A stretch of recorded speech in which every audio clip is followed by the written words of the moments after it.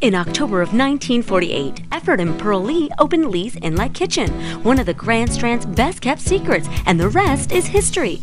We've been coming uh, to Lee's since uh, 1968, a little over 40 years.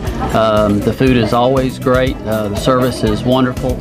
Um, you always leave with a, with a full stomach. Owned and operated by the same family for over 60 years, Lee's Inlet Kitchen prepares and serves food in the same manner as it was originally, using fresh local seafood and recipes that have been handed down from generation to generation. We've been coming to Lee's forever. It's our family favorite. Fantastic seafood, fresh from the inlet.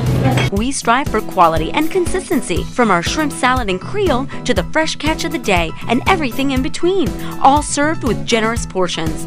And whether you're a seafood lover or just a land lover, our menu has something for everyone, including steak, chicken, salads, and more. Come experience low country tradition at its finest. Lee's Inlet Kitchen, serving the finest seafood, steak, and chicken for over 60 years.